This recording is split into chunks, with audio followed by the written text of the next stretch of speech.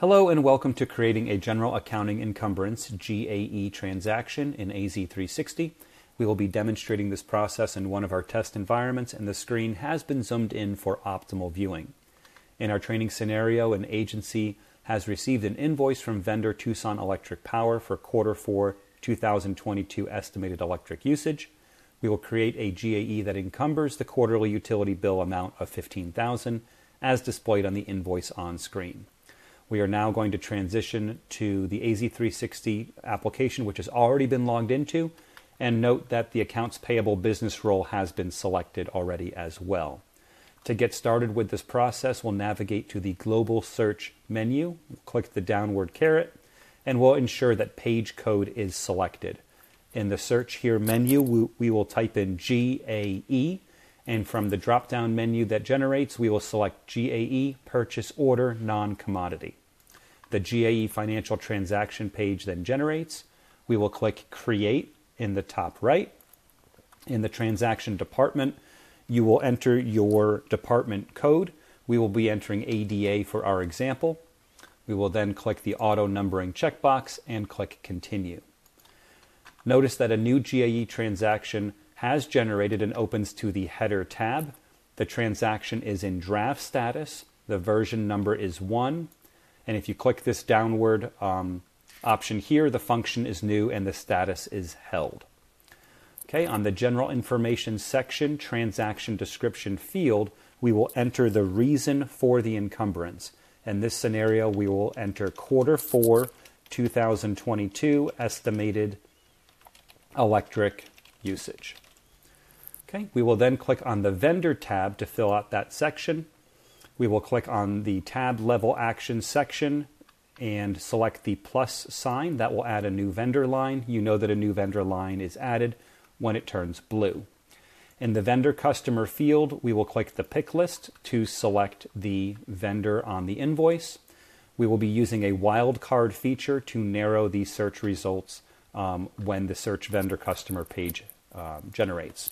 So we will type in IV wildcard asterisk and then the last four digits of the vendor code, which in this case are 3106. Click search, and you'll note that Tucson Electric Power is the first vendor that generates. It is uh, selected because it has a blue uh, line. Go ahead and click OK. Note that the legal name field is blank. If you click Save, the legal name infers from the vendor code that you entered. We will do the same thing for the address code, clicking the pick list, although in this case, the grid at the bottom is already pre-populated with um, addresses assigned to this vendor. And the PO Box 80077 address on the top here matches the address on the invoice. It's already selected and it will be the address that we use. So we'll click OK. For demonstration purposes, we'll click the downward um, expand uh, caret here. You'll note that none of the address information is currently populated.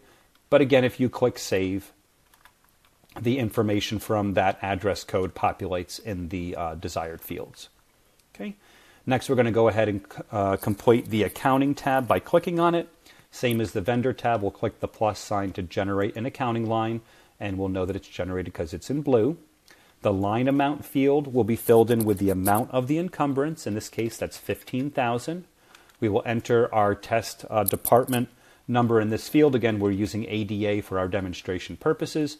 And we're going to be showcasing a function as well and show you how the function can infer additional uh, chart of account or COA elements. So in this case, we are using GSDUT22000 as our function. Uh, the GAE does require that you fill in an object um, code as well. In our example, we'll use 7181. And again, for training uh, display purposes, we're going to click the downward caret, navigate to the COA section, and I want to point out that none of the additional COA fields are currently filled out. But in this case, if you click validate and then navigate back to that COA section, you'll notice that now all of those fields have filled in. Um, it depends on how they are enabled on the function inference table, um, but again, they are pre-populated because of the function that was used. Now we know that the transaction validated successfully because of this message here in light purple.